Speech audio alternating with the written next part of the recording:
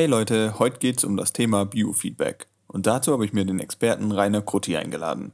Rainer hat beim Nicolab über dieses Thema gesprochen. Das Video dazu findet ihr auf nicolab.info oder einfach hier im Kanal. Was ist Biofeedback? Biofeedback ist eine Methode, mit der zumeist von Hilfe von Technik Zustände biologischer Vorgänge in unserem Körper sichtbar gemacht werden, über die wir uns ansonsten gar nicht bewusst wären. Man kann so zum Beispiel die Veränderung der Herzfrequenz sichtbar machen. Denn unser Herz klopft zwar regelmäßig, aber nie gleich. Wenn wir aufgeregt sind, schlägt es schneller, wenn wir entspannt sind, schlägt es langsamer.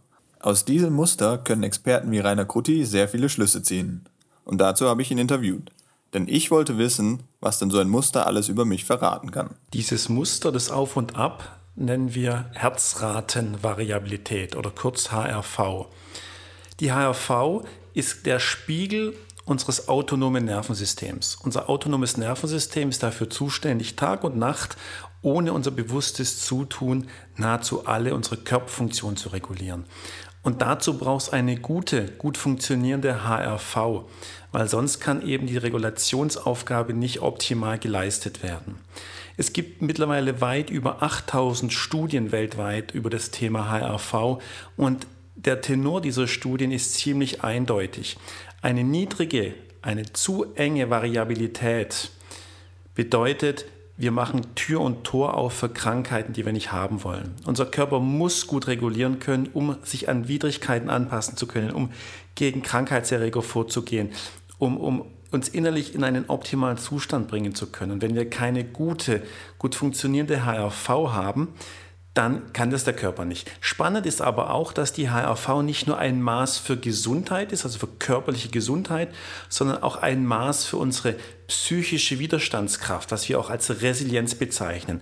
Leute mit einer hohen, ausgeprägten HRV können wesentlich besser mit schwierigen Situationen umgehen, sind wesentlich weniger schnell überfordert und wesentlich besser in der Lage, auch unter Druck gut zu leisten, unter Druck einen klaren Gedanken zu fassen, unter Druck eine gute Entscheidung zu fällen. Das heißt, wir brauchen für alle Bereiche unseres Lebens eine gute HRV und das können wir messen.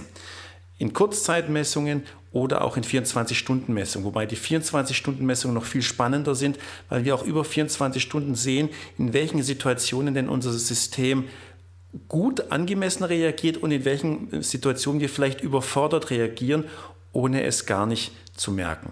Und ist es möglich, meine Herzratenvariabilität zu trainieren, wie zum Beispiel einen Muskel? Und was bringt mir das überhaupt? Ja, in der Tat. Die gute Nachricht ist, wir können unsere HRV trainieren. Wir können für mehr Variabilität sorgen durch ganz einfache Übungen, so wie ich sie im Nicolab auch vorgestellt habe. Herzfokus und Herzatmung. Und mit der Zeit, wenn wir das regelmäßig tun, wird unsere Variabilität größer. Dann tun wir was Gutes für unsere Gesundheit, für unser Wohlbefinden und wir tun auch etwas dafür, dass wir resilienter sind, widerstandsfähiger, dass wir auch in schwierigen Situationen gute Entscheidungen fällen können. Unser gesamtes Leben profitiert davon sowohl beruflich im Studium wie auch unser Privatleben.